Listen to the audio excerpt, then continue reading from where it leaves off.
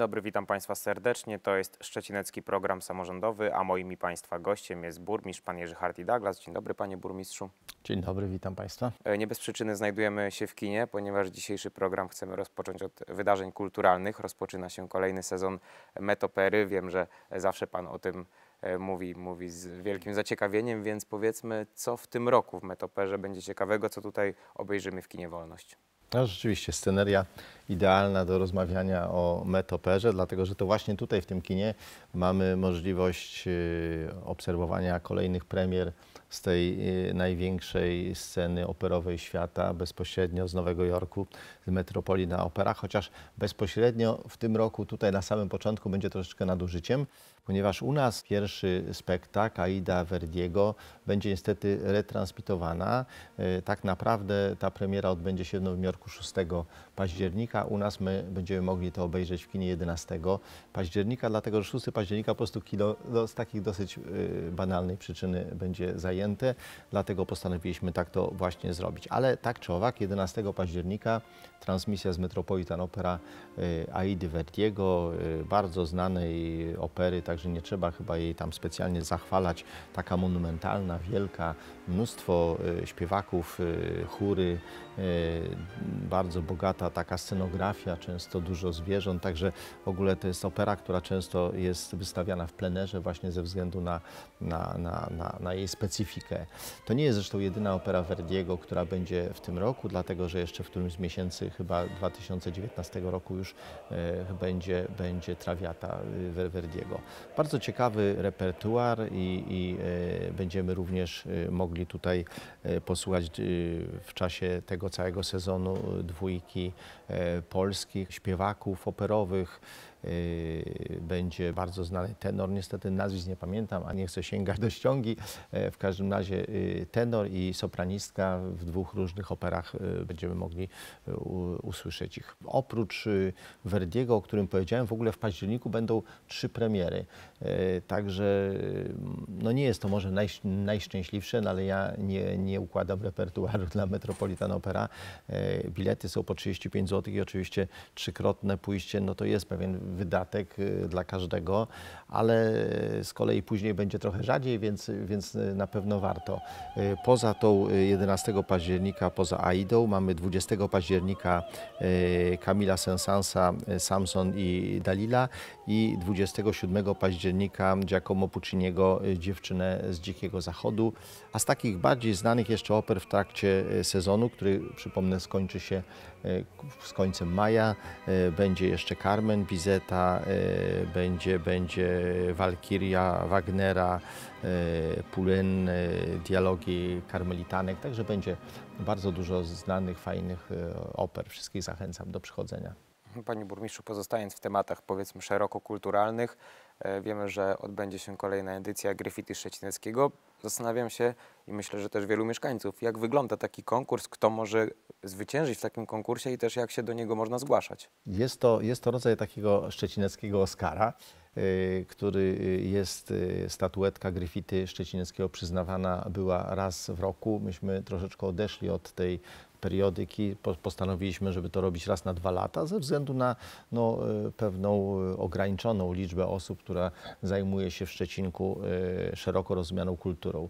I właśnie ci nominowani i potem ten Gryfita są, są wybierani z, spośród ludzi, którzy się zajmują szeroko rozumianą kulturą, czyli od propagatorów kultury poprzez osoby, które się parają grafiką, malarstwem, rzeźbą, muzyką, komponowaniem, piosenkarze, zespoły, no właściwie każdy rodzaj yy, sztuk, yy, fotografia. Wszyscy, którzy reprezentują jakąś dziedzinę kultury, yy, mogą być nominowani i, i to jest podzielone chyba na sześć kategorii. Wszystkie Państwo szczegóły znajdziecie yy, na stronach SAPIK-u. Do 27 września można zgłaszać kandydatów. Tak naprawdę zgłaszać swojego faworyta do, do Gryfity Szczecineckiego, a bardzo bardzo myślę, to jest jednak prestiżowa nagroda szczecinecka, plus nagroda finansowa, niemała. Może zgłaszać e, praktycznie każdy, czyli osoby fizyczne, i stowarzyszenia, jednostki, radni. Każdy, kto, kto, kto chce, może, może, może zgłosić. Należy takiego zgłoszenia dokonać e, w sekretariacie SAPIK-u e, na ulicy Wyszyńskiego przy kinie. 6 października sama tutaj w tym właśnie kinie i dlatego nie będzie bezpośredniej tej premiery. E, Ta e, uroczystość przyznania e, wyróżnień w poszczególnych dziedzinach, ale również tego, tej jednej nagrody Gryfity, a to będzie połączone z bardzo fajną też już imprezą taką artystyczną. Będą występy zespołu FIL i Małgosi Ostrowskiej. Także myślę, że warto będzie 6 przyjść tutaj do, do naszego kina, no choćby po to, żeby obejrzeć tych artystów, których wymieniłem. Wracając na chwilę do minionego weekendu, odbyło się w całej Polsce, także w Szczecinku Narodowe Czytanie. Tym razem wszyscy czytali dzieło Stefana Żeromskiego Przedwiośnie. Chciałem zapytać, jak Pan ocenia tegoroczną edycję, jak, on, jak Pan w ogóle ocenia taką inicjatywę? Inicjatywa jest bardzo cenna. Ja e, staram się co roku uczestniczyć w tym czytaniu. Jak jestem tylko zapraszany, e, to chyba było po raz siódmy, w ogóle wymyślił to narodowe czytanie prezydent Komorowski. Wydaje mi się, że właściwie jego żona, czyli powiedzmy sobie, że para prezydencka. E, Różnego rodzaju książki były typowane i czytane, tam Ogniem i Mieczem i różne inne. E, No, w tym roku padło na przedwiośnie. Byłem trochę zdziwiony, muszę powiedzieć, bo książka naprawdę taka troszeczkę y, myszką trącąca. Ja jej nie lubię po prostu, także ja mam swój taki, no, no nie wiem, jakiś bardzo subiektywny odbiór. Y, Dla mnie to jest książka, takie połączenie takiego trochę romansidła z taką, z taką książką y, no, niby historyczną. Ale ona opowiada, rzeczywiście, myślę, że dlatego została wybrana przez prezydenta, czy przez jego doradców, no, że my w tym roku obchodzimy stulecie niepodległości Polski. A przedwiośnie, co by o niej nie mówić o tej książce, która, jeszcze raz mówię, ja, ją, ja, ja, ja mówię, że to jest ksi- książka trącąca myszką, ale przez wielu fachowców jest uważana za, za książkę wybitną. Y, Więc to ja tylko wyraziłem swój y, subiektywny bardzo pogląd. Y, Myślę, że została wybrana dlatego, że, że ta książka traktuje rzeczywiście o, o czasach odzyskania niepodległości, czyli to są powiedzmy y, koniec drugiej dekady XX wieku, kiedy to y, ludzie wywiezieni kiedyś y, gdzieś w głąb Rosji mieli okazję, mogli wrócić do Polski, o tej Polsce marzyli, bardzo ją idealizowali, stąd te właśnie z przedwiośnia te, te szklane domy, tak, gdzie ojciec Baryki opowiada mu, jak to e, przyjadą do Polski, gdzie, gdzie, gdzie, gdzie, gdzie są, budują te, te piękne e, domy. No takie dzisiaj to powiedziałbym, że to było dosyć prorocze, tak, bo to te domy szklane z taką fotowoltaiką, wtedy się wydawało, że to bajki.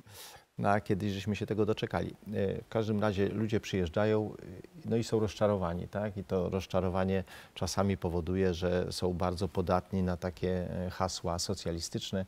Tak jest taki właśnie podatny jest też Baryka, który e, był zafascynowany hasłami rewolucyjnymi e, w, w, w Rosji, e, a, a potem przyjechał do Polski i znowu zaczyna być jakby nawracany przez socjalistów polskich tutaj na ten taki trochę taki prosowiecki socjalizm.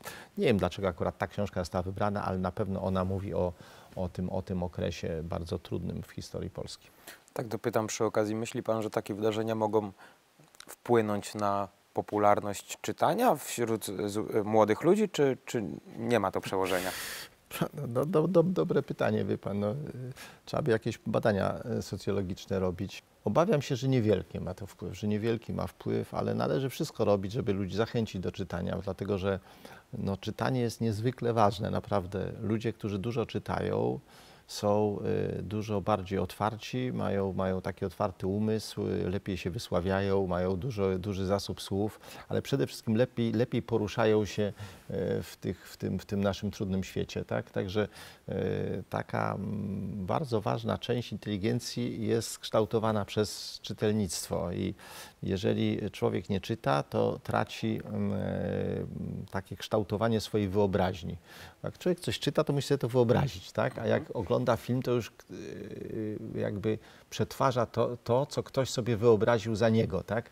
I to jest dosyć, y, no takie wydawałoby się proste. Niemniej ludzie odchodzą od czytania. Mm, To jest sprawa no, rozwoju internetu, y, komputerów. bardzo, bardzo współczuję tym, którzy nie czytają naprawdę, bo są ubożsi po prostu i dużo tracą. Na koniec Ja zachęcam. My również zachęcamy. Na koniec temat nieco poważniejszy. Inwestycje. Wiemy, że PGIG ma wybudować nowe składowisko odpadów. Powiedzmy o szczegółach, co to za rodzaj składowiska, gdzie to ma się znaleźć, jak to ma wyglądać. No nie, to, to, to nie, nie, nie do końca tak jest, tak? bo to już jak Pan mówi, że PGG będzie budował składowisko odpadów, to ja już widzę zaniepokojenie mieszkańców Szczecinka. Nie, my w ogóle składowisko mamy i ono jest raczej likwidowane w Trzesiece. Większość e, swoich śmieci, e, odpadów tak, wozimy do Wardynia, te wszystkie zmieszane, ale również część segregowanych. Jak Państwo wiecie, od kilku lat jest zupełnie są inne przepisy. Musimy segregować śmieci, jak w całej Unii Europejskiej. I jednym z elementów tych segregowalnych e, odpadów są tak zwane odpady zielone. Mm, Ich jest mnóstwo, a w Szczecinku szczególnie dużo, dlatego że Szczecinek jest miastem bardzo zielonym. Mamy mnóstwo drzew, y, mamy wielki park, mamy y, bardzo dużo trawy, liści, które są y, koszone, zbierane, no i coś trzeba z tymi odpadami zrobić. Dochodzą do tego w tej chwili y, te y, odpady biodegradowalne, tak zwane kuchenne, które też się mieszczą w tej jednej grupie.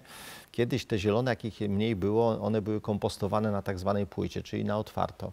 E, Dzisiaj przepisy każą robić to w warunkach takich zamkniętych. Takim najbardziej nowoczesnym i najmniej jakby uciążliwym dla środowiska jest kompostowanie tego w tak zwanych bioreaktorach. I takie bioreaktory, czyli rozwiązanie z najwyższej półki, będzie realizował y, PGIG. Jest to rozwiązanie drogie. Będzie budowane będą bioreaktory y, w Trzesiece, ponieważ właśnie Trzesieka jest wskazana jako instalacja do przetwórstwa odpadów y, komunalnych, tych zielonych. Y, Będą mogły tutaj zwozić te zielone odpady do tych bioreaktorów również miejscowości położone dookoła Szczecinka. Czasami z, wię- z większych nawet jakichś y, aglomeracji będziemy musieli przyjąć, ponieważ będziemy regionalną y, instalacją. Te bioreaktory są świetnym rozwiązaniem, natomiast są drogie. Wybudowanie tej instalacji będzie kosztowało około 11 milionów złotych. Na szczęście prawie 7 milionów złotych mamy już przyznanego dofinansowania z Regionalnego Programu Operacyjnego Województwa Zachodniopomorskiego. Inwestycja taka, myślę, dla przeciętnego mieszkańca, no mało widowiskowa, ale uwierzcie, że bardzo potrzebna. Bardzo się niepokoiłem, czy te pieniądze dostaniemy, bo wiedziałem, że z tyłu głowy miałem, że my to musimy zrobić, czy chcemy, czy nie. Musimy kiedyś się z tym zmierzyć i zrobić te bioreaktory. No, byłoby, bolałoby, gdybyśmy musieli robić, y, wydać 11 milionów ze swojej kasy, biorąc jakieś kredyty. Na szczęście jest Unia Europejska, jest dofinansowanie. Inwestycja, myślę, zacznie się fizycznie, pierwsza łopata gdzieś za rok czasu. Mhm, Ta inwestycja, jak zostanie zrealizowana, to chyba nie będzie w żaden sposób uciążliwa dla mieszkańców. Zupełnie nie będzie uciążliwa. E, Wystarczy pojechać e, do e, miast, gdzie te bioreaktory działają. Myśmy przyglądali się, jak to na przykład działa w Toruniu. Wśród normalnie domów mieszkalnych są mm, bioreaktory, w ogóle się nie czuje żadnych zapachów. I myślę, że na tym możemy zakończyć. Panie burmistrzu, dziękuję za spotkanie, Dziękuję bardzo. a Państwu dziękuję za uwagę i zapraszam do oglądania kolejnych programów.